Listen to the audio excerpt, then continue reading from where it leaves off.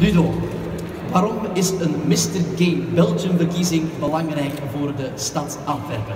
Wel, het is nu de vijfde verkiezing op rij. Het is belangrijk dat we als stad Antwerpen pionier blijven in de aanvaarding van LGBT-rechten. Antwerpen is altijd de pionier geweest. België is pionier geweest. Ik heb zelf het homohuwelijk gestemd, homo-adoptie. Ik heb het eerste homohuwelijk meegemaakt in het stadhuis.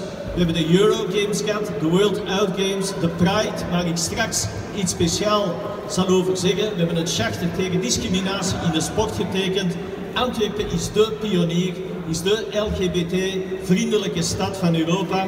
En daar moeten we blijven en daar moeten we pionier in blijven. En waarom zet de stad zich juist in zo voor diversiteit? Diversiteit is belangrijk. Antwerpen is een zeer diverse stad met 176 nationaliteiten. De mensen moeten zich kunnen uiten zoals ze willen in hun nationaliteit, maar ook in hun geaardheid. Iedereen in een stad, en dat is in Antwerpen altijd zo geweest, al van in de 16e eeuw, iedereen moet in een stad zichzelf kunnen zijn.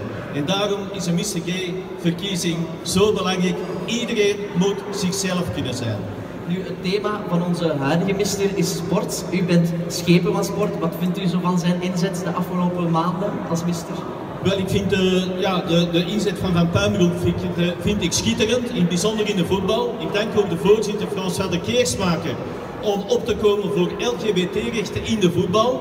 Dat is een moeilijke wereld om voor LGBT-rechten op te komen. François, zoals in andere sporten.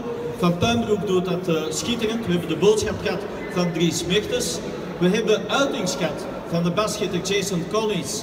Eh, van Ian Torp, eh, zwemmer, de voetballer met de Haxel Speaker, of Spiegel Haker beter gezegd. Zelfs in de bokswereld, Orlando Cruz, de meest macho sport die er is, die heeft zich geuit. Dat zijn zeer positieve signalen. We hebben in 2013, toen we sporthoofdstad van Europa waren, een charter getekend. Maar een charter dat blijft maar papier.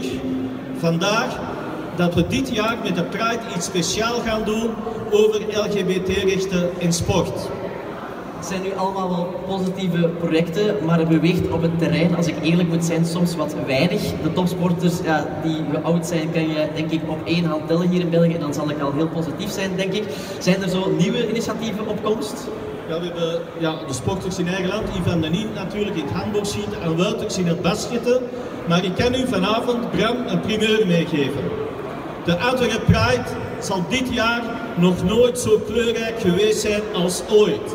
Dit wordt de meest kleurrijke Pride die er al geweest is. Ik heb met Bart Abeel samengezeten en gezegd, we kunnen nog veel charters tekenen, maar laat ons eens een duidelijk fysiek signaal aan Antwerpen, Vlaanderen en de wereld geven.